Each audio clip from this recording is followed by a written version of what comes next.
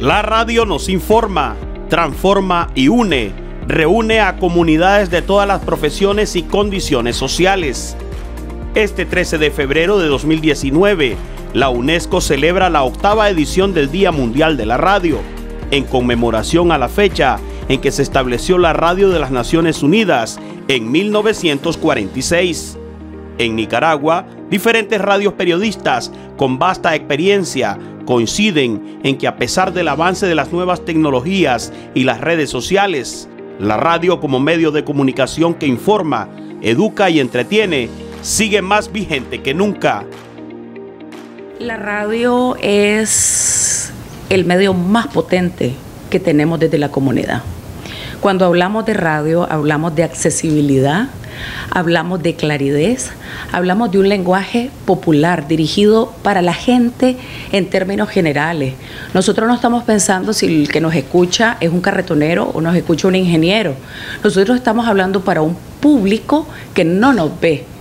¿Qué tal amigos? Yo soy Mario Zúñiga, es un gusto saludarle y recordarle que este viernes a partir de las 8 de la mañana en la revista En Conexión tendremos una cantata revolucionaria por la unidad y la dignidad sandinista. Tiene varias cosas en, esencia, como perfil de medio de comunicación, es inmediata, funciona con o sin batería, electricidad directa, y vos la podés estar oyendo igual en un viaje a caballo en el monte, en el campo, en la parte rural, o la podés oír en aire acondicionado con el confort de una oficina o en tu casa con la tranquilidad con que se puede estar disfrutando música, deporte o música. Esa es la radio. Yo creo que la radio, fíjate vos, con el fenómeno de la internet en los últimos años, se pensó que la radio iba a desaparecer pero increíblemente en lugares donde no pensamos que nos íbamos a escuchar, nos estamos escuchando. En cualquier parte del mundo que haya conexión a Internet, la radio se escucha y eso te da un panorama enorme de cobertura.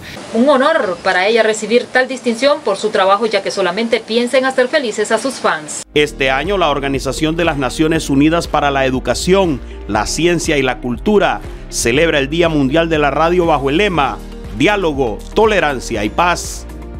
Y es que la radio también puede ayudar a difundir la tolerancia y superar las diferencias para reunir a las personas en torno a objetivos y causas comunes, como el derecho a la educación y a la salud para todos.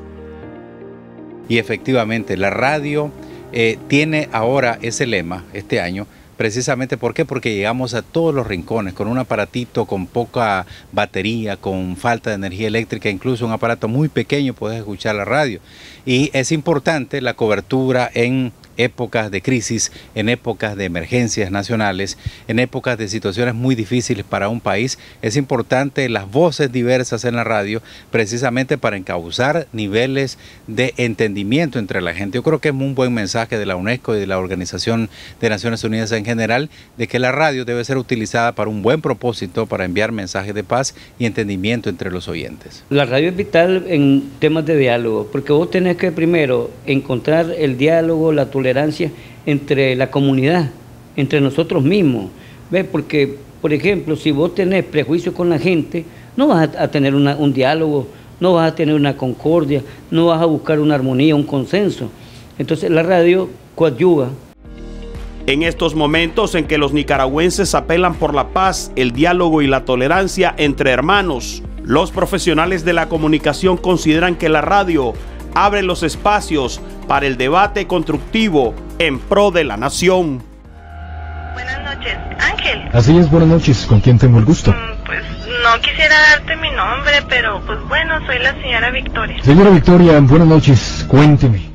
Es importante hacer hincapié de que tenemos la tarea desde la radio de construir esos espacios que hagan de la radio la democracia por excelencia. Para una persona de escasos recursos es más fácil llamar a una radio que tenga un micrófono abierto y que diga, este es el problema que tiene mi comunidad. En crisis como la que nosotros hemos estado viviendo, es importante la comunicación, la información. La información se combate con información. La única manera, creo yo, de, de decir que una noticia es falsa, que no es correcta, es con una información eh, correcta, es acercarse a la verdad y acercarse a las diferentes voces, darle voces a más personas, que participen una mayor cantidad de personas. Yo, por ejemplo, eh, siempre me gusta en los programas que yo dirijo que haya participación de la gente, que haya que la gente se aclare. Creo que eso es importante, no puedes dejar espacio a que la gente tenga dudas y es importante que los funcionarios, los políticos, los profesores, la gente promueva el debate y la radio es un buen medio para el debate. Se está preparando, mide con la pierna zurda, viene la pelota tomando altura. Hacia arriba van las manos del guardameta. Sandro Junior Cárcamo capturó la pelota. Este día es una oportunidad para que el mundo celebre la radio y su impacto en nuestras vidas y nuestra sociedad. Únase a la celebración del Día Mundial de la Radio para festejar la importancia de la radio en la búsqueda de un mundo más pacífico y humano lleno de tolerancia, paz y diálogo.